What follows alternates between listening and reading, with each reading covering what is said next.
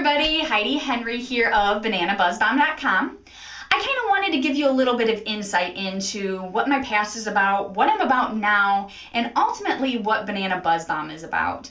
Um, growing up, I never considered myself an athlete. You know, I I competitively rode horses, I dabbled in gymnastics and even cheerleading, but ultimately I couldn't make it to the end of the block running and back or anything like that. I just never considered myself an athlete or athletic.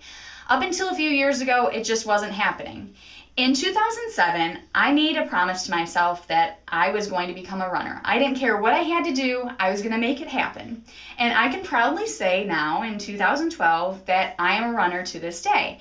Um, you know, I had many challenges along the way, but they were all worth it. Um, you know, I'm not trying to be rude to myself or anything like that, but I am not the best runner out there, but I'm still out there pounding pavement. Um, over the past few years, something that has definitely dawned on me is that as humans, we are constantly evolving and changing, whether it be your lifestyle, what you eat, who you hang out with, anything you can think of is constantly changing. And I have made many changes in my life over the past few years, and I'm making many changes now. And what BananaBuzzBomb.com is about is basically me sharing my life changes with everyone around me. Um, you know, it's not about trying to one up anyone. It's not trying to say, I'm right, you're wrong. You know, it's just sharing my journey and my adventures with those around me and hoping that, you know, sometimes they can join in with, my, with me in my adventures.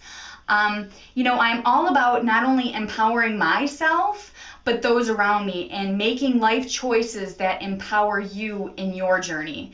I am very big on saying that my journey is not the same as your journey or vice versa. You are on your own journey. However, I'd like to think of myself as a person that someone can look at and say, you know, she's doing what she loves, and I'd like to do that too. So that's ultimately what I'm about.